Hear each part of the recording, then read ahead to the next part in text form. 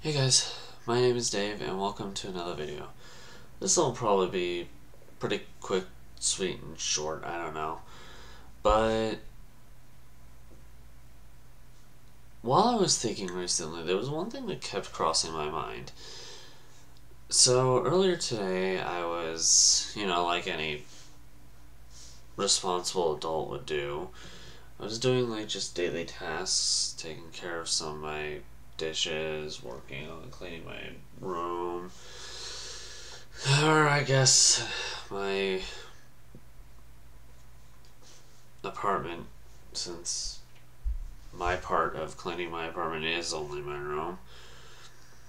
Maybe aside from actually doing the stuff that I make a mess of outside of it, which is literally just my toothbrush, toothpaste, that's about it. Anyway, I digress. There's one thing I've noticed about myself recently, and that's that I can be a very tidy, very neat person as long as you put me in the right mindset. And for the most part, that is the case. Sometimes I'm a little bit messy, and usually when I am, it's just like clothes, stuff that you can literally pick up, toss aside, and you're done. I haven't been like this my whole life. Maybe ever since I was like. I'd probably say like maybe 23, somewhere around there.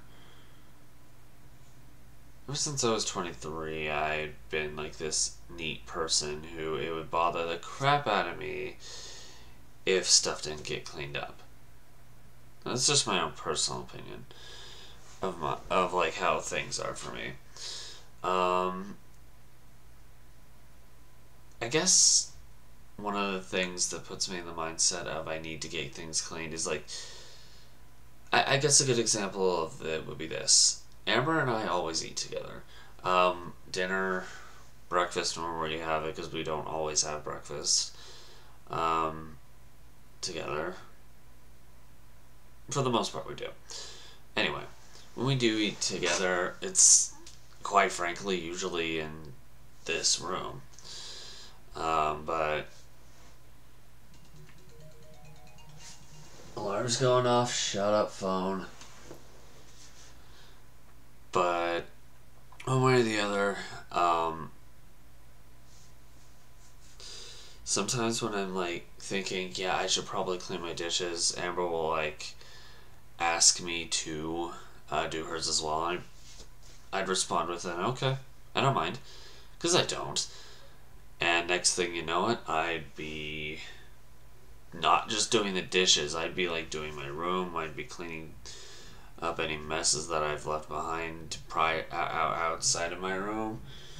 Um, sometimes I would go as far as doing a deep clean, which has happened on multiple occasions.